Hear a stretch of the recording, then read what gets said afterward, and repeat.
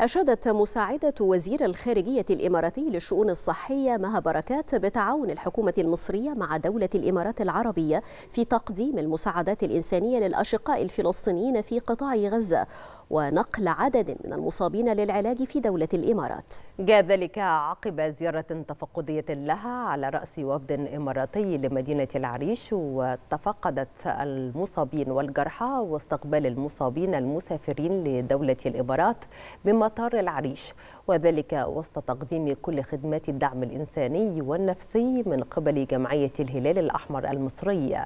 وفي هذا السياق أشاد عدد من المصابين والمرافقين الفلسطينيين بالجهود المصرية التي قدمت لهم منذ استقبالهم في معبر رفح البري وعلاجهم بالمستشفيات وإقامتهم بعمارات السبيل بالعريش.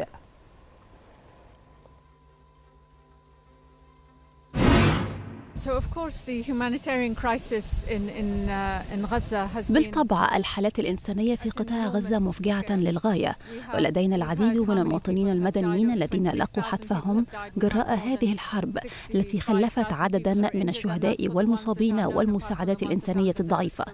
وقطاع غزة يحتاج للعديد من المساعدات الإنسانية. دولة الإمارات المتحدة قدمت العديد من المساعدات الإنسانية للأطفال المصابين في الحرب. والمصابين بالسرطان في أعمار مختلفة ونحن نعمل في أشهر قليلة لمساعدة 425 مريضا بالعلاج في دولة الإمارات.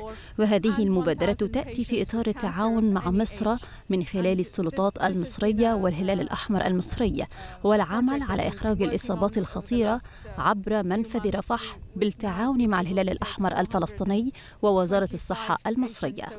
نقلنا المصابين لمطار العريش بسيارات الإسعاف المصرية بالإضافة إلى أنه لدينا مستشفيات إماراتية في قطاع غزة بها عدد من المرضى وكل ما يحدث من التعاون مع مصر لتقديم كل المساعدات الإنسانية لأهالي غزة هو شرف لنا. أنا بشكر جمهورية مصر العربية الشقيقة طبعا من كل قلبي وبشكر كل الطواقم اللي استقبلتنا سواء على المعبر من دخول جمهورية مصر العربية الشقيقة وحتى وصولنا مستشفى بورسعيد الرمد وكل الطاقم الموجود فيها. مصر طبعا قدمت لنا كل حاجة حلوة وعرفتنا على ناس كتير حلوين رغم مأساة الحرب اللي إحنا شفناها. شفنا ناس كتير حلوين وطيبين وقفوا جنبينا. كل طاقم المصري بشكره. كتير السلام.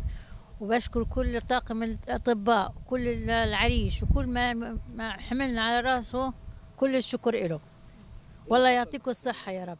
جانا اسمنا في مصر والحمد لله أهل العريش رحبوا فينا ويعني وعملوا لابني كل حاجة. وابن شاف على يدهم وضربنا الحمد لله.